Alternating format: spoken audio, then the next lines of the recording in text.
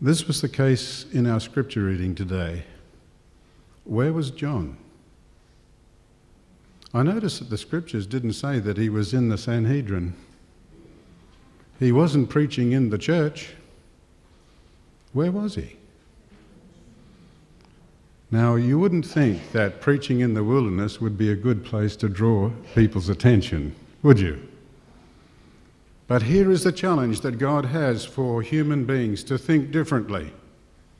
And people left their normal place of worship and left their normal place of, of thinking about God and were drawn out into the desert place.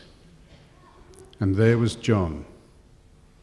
And did he have his collar on back to front? And did he have a nice suit on? And according to you know the Levitical uh, laws, did he did he appear as uh, one who was normally someone who represented God?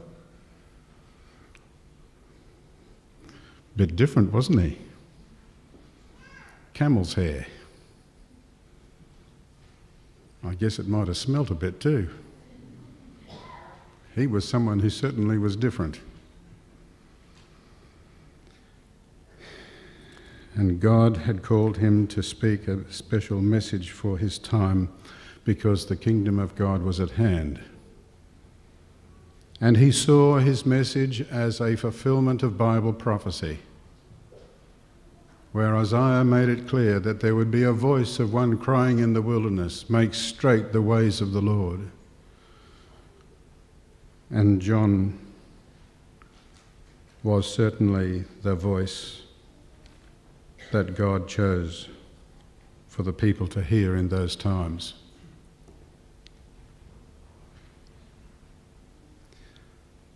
I'm sorry I don't have my shiny suit on today, but I'm about to get in the tank, so I'll wear my suit a little bit later. So maybe I'm trying to follow John the Baptist's uh, style of doing something different, not meeting the expectations that you might have. But here in this passage of Scripture, we find that uh, uh, one of the key notes of this passage was that John was calling people to repentance. Did you notice that? The issue of repentance was the issue of his day. And it seems to me the closer we draw near to the kingdom of God, the more vital that issue is. And just as it was to prepare people to meet Jesus Christ in person in his first coming, I'd like to submit to you today, so it is that as people prepare for Christ at his second coming, the issue of repentance is going to be the issue. One of the main issues amongst God's people is not that they, how good they are and how smart they look and how, how successful they are in business or whatever, but how humble are they in recognizing that they too, though members of the church, though practicing the ways of God, they too are sinners who need to repent. And so it is with your pastor as well needs to repent. Just check with his wife.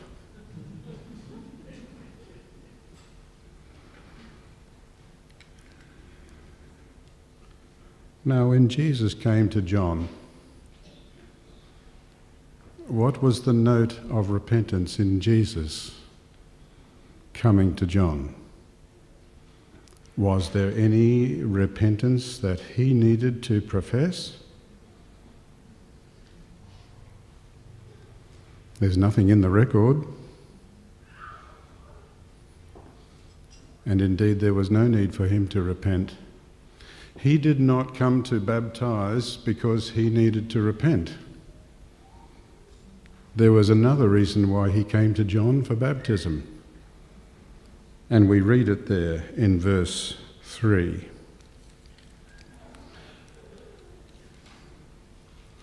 No, not verse 3 verses 13, 14, and 15. then Jesus came from Galilee to Jordan to be baptized by John. But John tried to deter him, saying, I need to be baptized by you. And are you coming for me to baptize you? You should be baptizing me. But Jesus replied, Let it be so now. It is proper for us to do this to fulfill all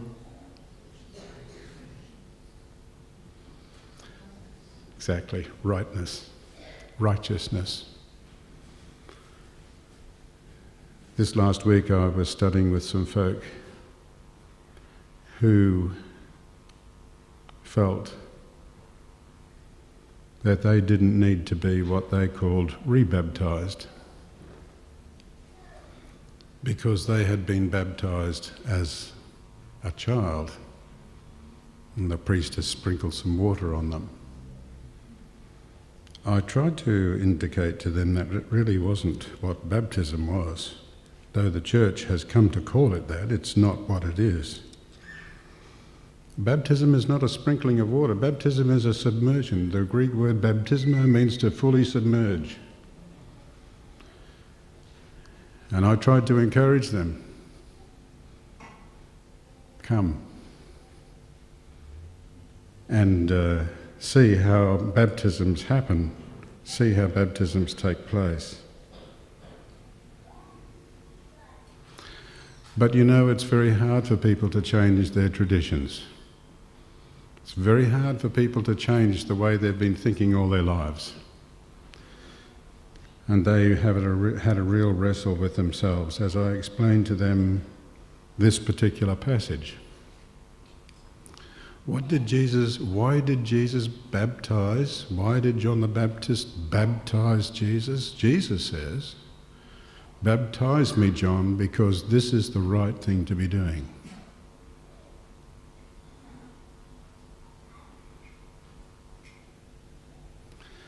There's something about it, isn't there?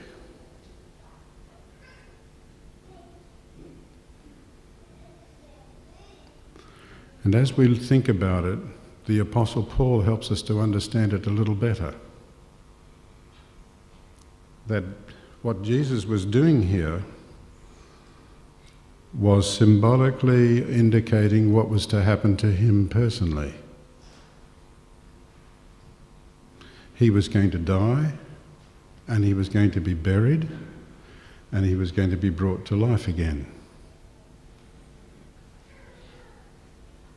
In fact, the Apostle Paul says that those of us who have been baptized, we've been baptized into his death and buried with him in his burial. That, like as Jesus was raised from the dead that Sunday morning, so those of us who are baptized come up out of the water to a new way of life. So the issue of baptism has to do with a new life in Jesus Christ. Isn't that the good news?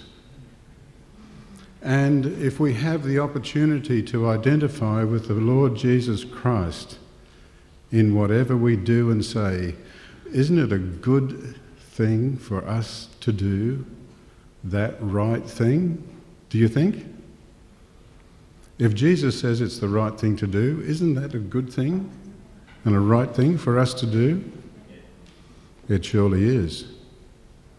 It's our opportunity to experience a closeness with the Lord Jesus Christ. Jesus was fully immersed in the River Jordan, and coming out of the water, something came upon him. What was it? If we notice the verses uh, following, at that moment, in verse 16, at that moment the heavens were opened, and he saw the Spirit of God descending like a dove and lighting on him. Not only was it the right thing to do, but it was something that the agencies of heaven were able to indicate a great blessing. The agencies of heaven were able to impart to this person who had been baptized in the River Jordan new power, the power of the Holy Spirit to strengthen him And we notice as uh, chapter 4 begins in Matthew that the Spirit of God led him into the desert. And we know what happened in the desert. He there fasted and prayed for 40 days and 40 nights. He was there preparing for his public ministry. He was there uh, to establish a, re- a very close connection with his Heavenly Father in preparation for the testing time of three and a half years of public ministry.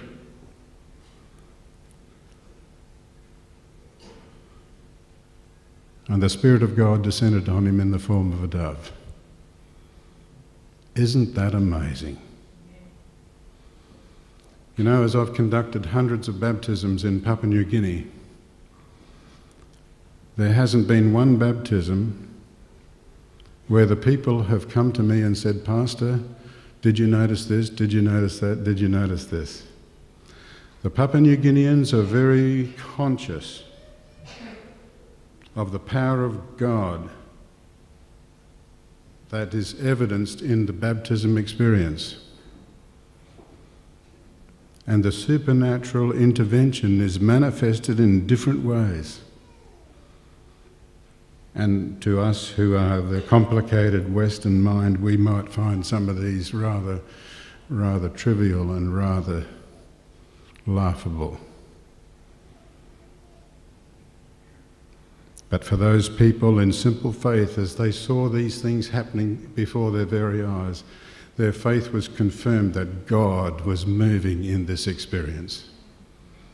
Just as God was moving in John the Baptist's experience here, the Spirit of God descended upon him in the form of a dove. What a wonderful blessing, what do you say? But then there's more. The record goes on to say that a voice came from heaven. Now, I wonder whose voice that might be. If Jesus is there in the water and the Holy Spirit has descended in the form of a dove, who's left? The Heavenly Father.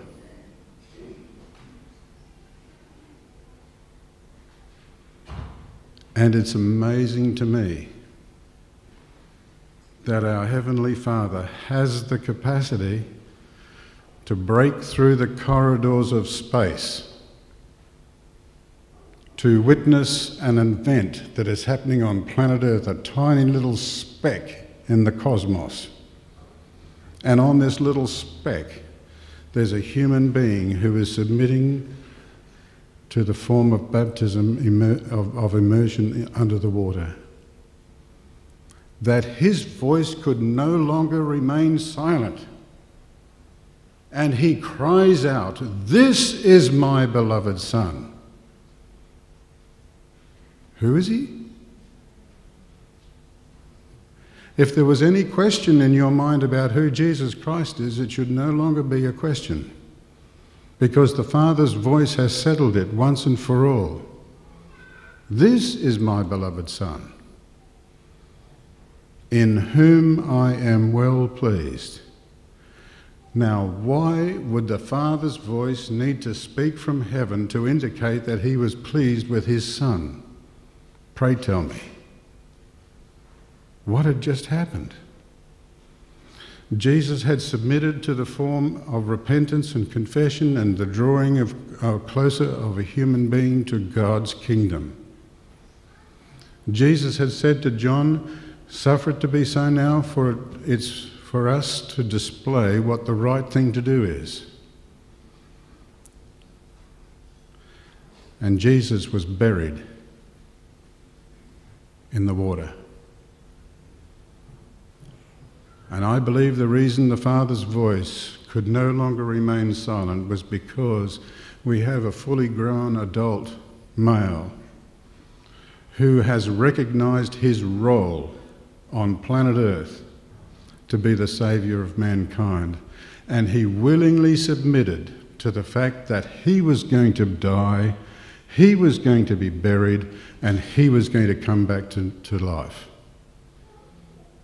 In other words, the great plan of salvation that had been worked out before this world was created was now being put into place by the three members of the Godhead family the Father, the Son, and the Holy Spirit. Isn't that interesting?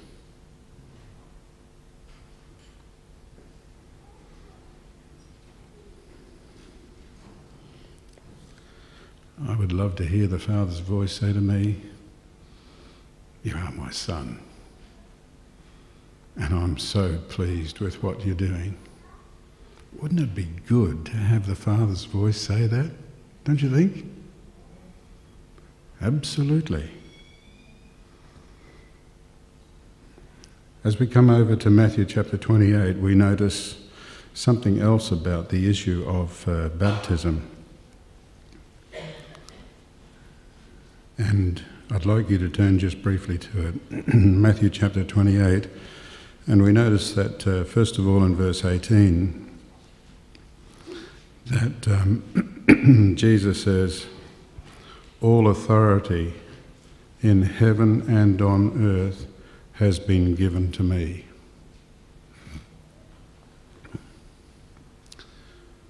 I wonder why all authority has been given to him.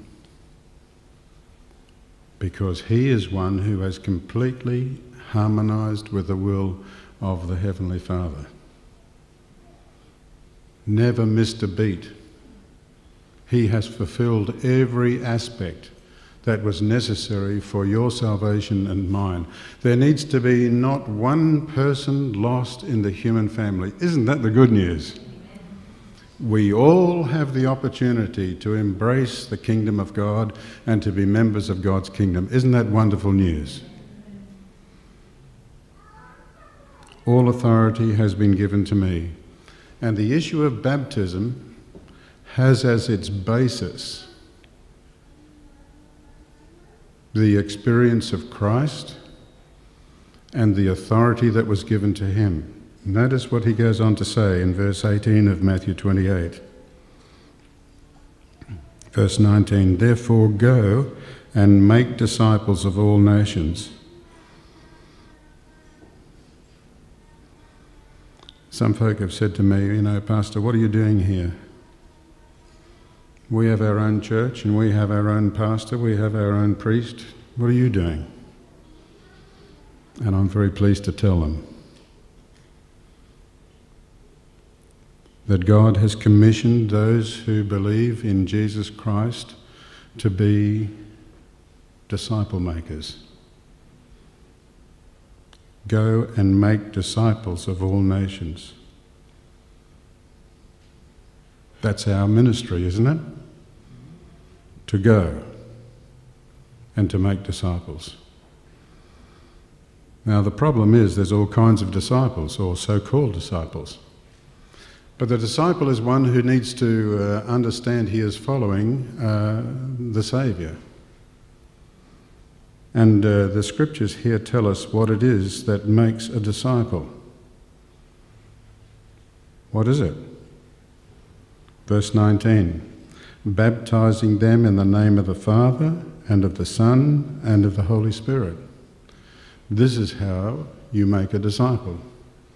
When you lead a person to identify with what Jesus says is the right thing to do, to make all disciples. And then, what else in verse 20? And teaching them to obey everything I have commanded. Isn't that a challenge?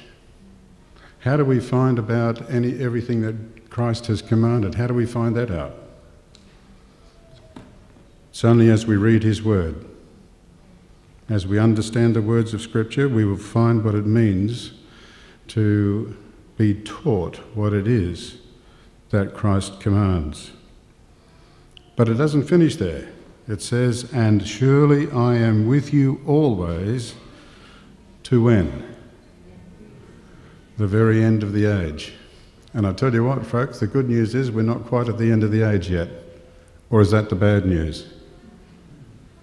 Some would say it's the bad news because we've been waiting to get into the kingdom of God for a long time, haven't we? My dear old dad thought it was going to happen in his day.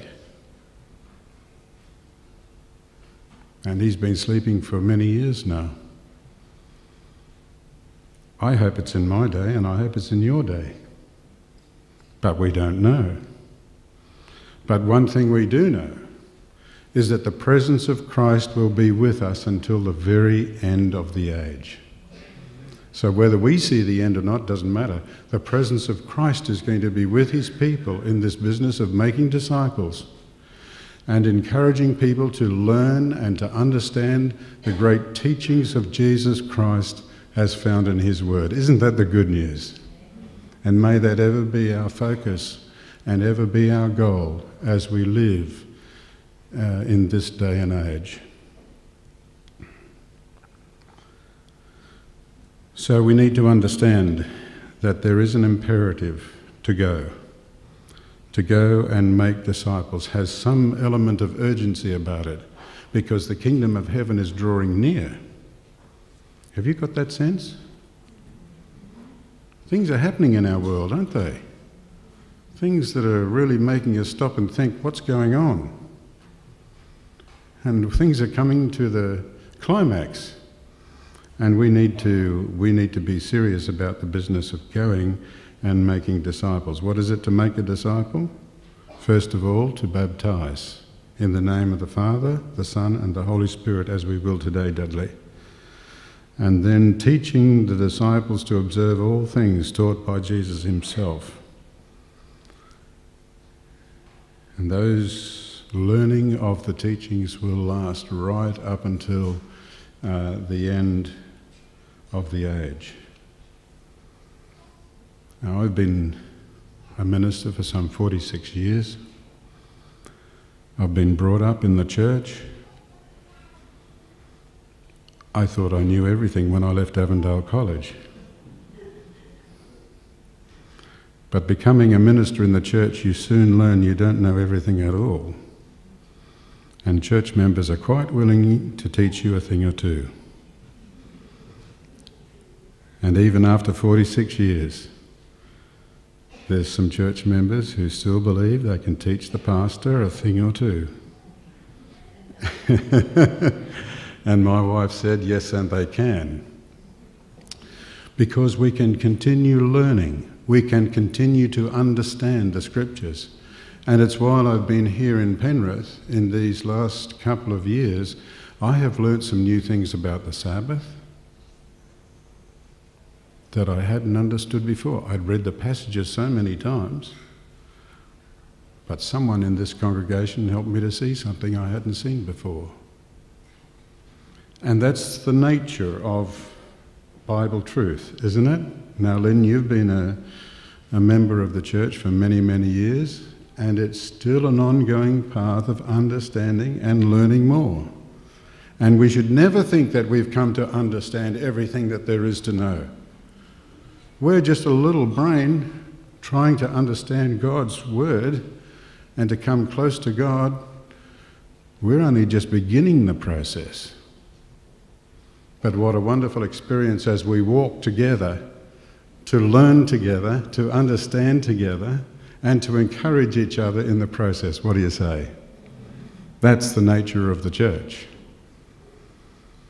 And I'm so glad we all think differently.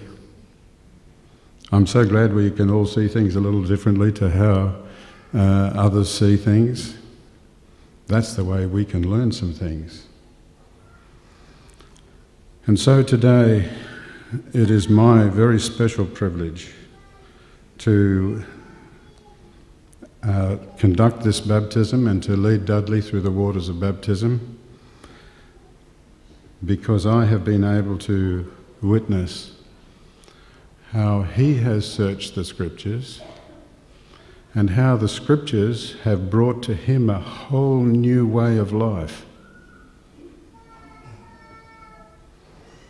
And it will do that for every one of us, no matter how long you've been in the church, no matter how long you've been a Christian. There is still power in this book to help us to grow more like Christ. What do you say? And we need to spend time in studying it so that uh, we can grow in spiritual strength. One thing to grow healthy physical bodies, But it's quite another thing to grow healthy spiritual, spiritual bodies, to be strong in the Lord, to be strong in our faith, to be unwavering in our convictions as God leads us. And so, this is not the end of our journey in the baptism experience of today, but it's rather part of the beginning process. And uh, I do pray that uh, this congregation will be ready uh, to stand alongside of new folk to encourage them because, you know, we live in a world where the forces of darkness are at play. And they know how to attract human beings, don't they? The forces of darkness know how to trip us up and to get us thinking of different things. And we do pray that uh, as new folk come into the family of the church, that uh, you will be conscious of being a friend, being someone who can uh, walk with them and to encourage them as they walk that journey.